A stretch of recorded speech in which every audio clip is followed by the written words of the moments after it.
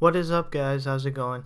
In this video I'll be showing you how to make use of your entire screen on your Android device. Now this is going to hide the soft keys and the notification bar on your phone.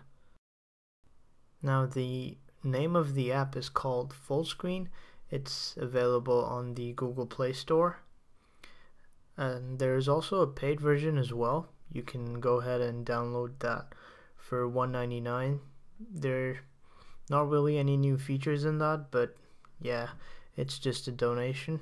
Now, you must be rooted in order to be able to do this, so if you're not rooted, guys, um, sorry, this is not for you. You should go ahead and definitely take advantage and root the phone if you want to make use of the full screen.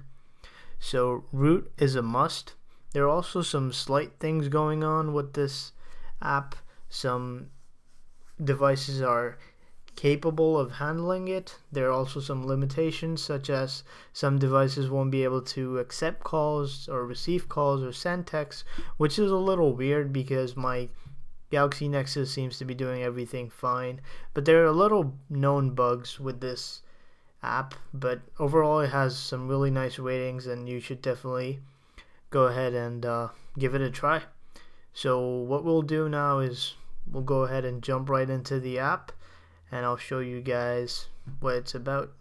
Now as you can see right now I'm going into settings and into settings from my accessibility I have to turn full screen on because if it's turned off there's some certain stuff that it won't be able to do. And also if you're rooted you have to grant access through super user or super SU you have to grant full screen access or else this app won't work so basically this is the app. Right now it's um, disabled. I can also choose to show notification if I want in the notification bar or not. We'll go ahead and enable it and here you go. So I have a full screen. Now there are two sides I can use. We'll come back to that in a bit. But as you can see the notification bar and the soft keys have totally disappeared and the phone is using its entire screen. Now any app I open is obviously going to um, be loaded as the entire screen, which is actually the benefit of this app. It gives you the, you know, the 0.5 or 0.2 or point whatever screen you were missing out when you were using the soft keys and the notification bar on top. It doesn't really take much, but yeah, it's it's worth it if you want the full screen. Now if you notice you can't really see any buttons. That's because I've set the opacity to zero.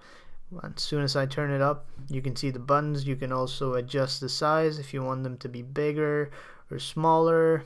Show notification bar in the notification bar menu. Now there are two positions. There's one on the left and one on the right. You can set it on the top on the bottom. You can disable it. Whatever you want. Now there are basically three different functions you can do First is the click action, the long click action, and the swipe action.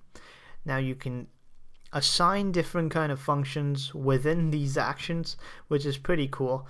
You can choose from nothing to go back to show recent apps.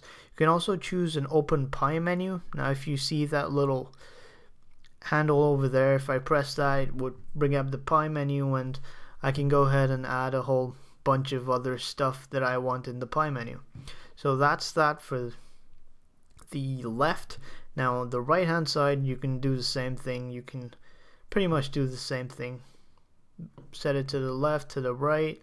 So as you can see my left button is being used right now for going back while if I swipe towards the left from my right hand side it just goes to the home screen regardless of wherever I am and if I tap it once it opens the notification bar now the notification bar is not coming from the top and neither does Google Now work, but it comes from the bottom and it comes nicely. You have all your stuff going on. You're not missing out on any notifications.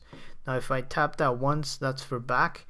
And when I swiped, it just opens up the pie menu. So whatever functions I put in the pie menu, they're right there. As you can see, I can also see my recent apps by doing that. But the bad part, I would say, is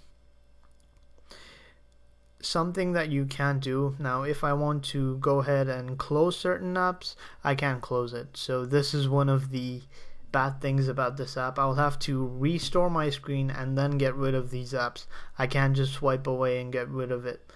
But overall guys, this is pretty much it. If you liked the video, do give it a thumbs up and uh, subscribe for more and I'll see you guys in the next